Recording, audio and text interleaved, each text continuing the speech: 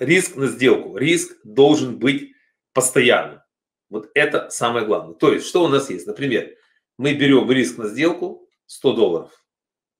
Так? Это цифра, которая должна быть постоянно. Эта цифра может быть просто цифра, или эта цифра может быть процент от депозита. Абсолютно верно. Молодцы. Либо риск на сделку, то есть либо процент от депозита, например, если вы торгуете там 5000 долларов, да, 5000 долларов, то 2%, вот это нолик еще, да, то 2%, 2%, да, это абсолютно нормально. То есть 100 долларов, к примеру, риск на сделку при 5000 риск. Дальше. У вас есть еще одна цифра, которая будет плавающая. Вот это первая цифра. Это что? Это стоп. То есть стоп именно в пунктах. Да? Вот это стоп. И, естественно, здесь у вас лотность. Да?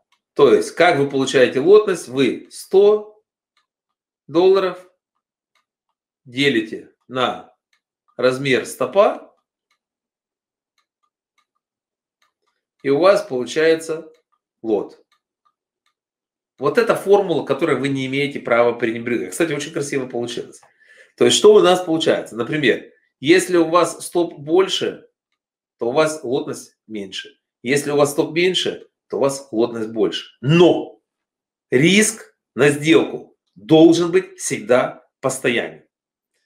Риск на сделку можно поднимать только тогда, когда, например, у вас была очень хорошая неделя или очень хороший месяц, и вы поднимаете риск на сделку. Но риск на сделку нельзя поднять в два или в три раза сразу. Иначе, если будет плохая неделя, вы просто вот так вот улетите очень сильно вниз.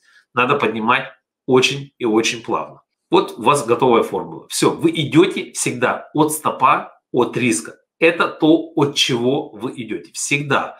То есть вы идете от этой цифры.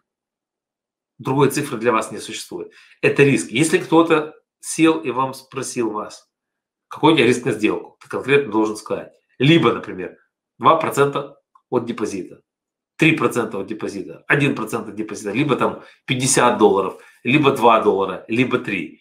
И когда у вас будет результат идти, будем говорить, вверх, вот только тогда вы поднимаете риск на сделку и, естественно, у вас будет повышаться лотность. Когда риск на сделку будет повышаться, стоп в инструменте, он практически всегда будет одинаковый. 13 пунктов там по евро, 17 пунктов по евро, 5 пунктов от евро.